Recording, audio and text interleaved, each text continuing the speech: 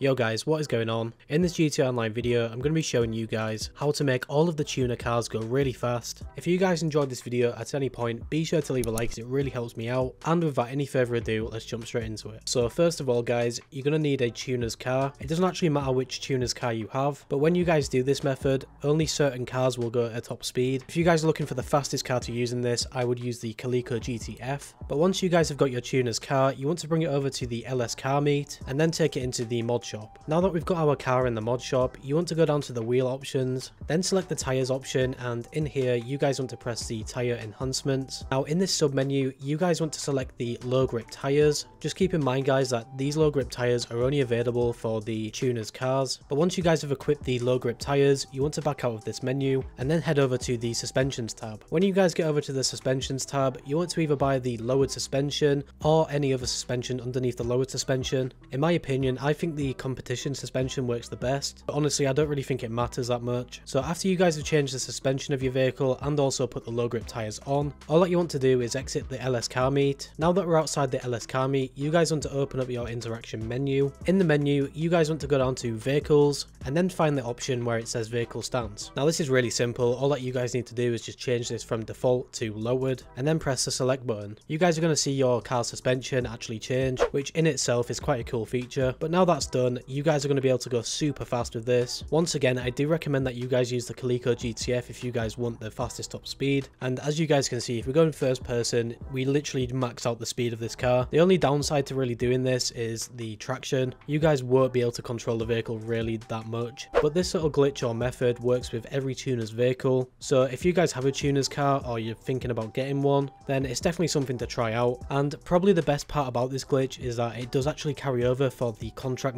missions. So on specific contract missions where you have to escape something with your car, then you will be able to go super fast. If you guys are like me and have multiple tuners vehicles, I would really recommend that you do it on one of them at least, just to have that option if you need to go really fast at one point. But that is going to be it for this video guys, I really hope you enjoyed. If you did enjoy the video, make sure to leave a like as it really helps me out. And if you are new to the channel, make sure to subscribe and turn on post notifications to never miss a video. Finally, stay safe and thanks for watching.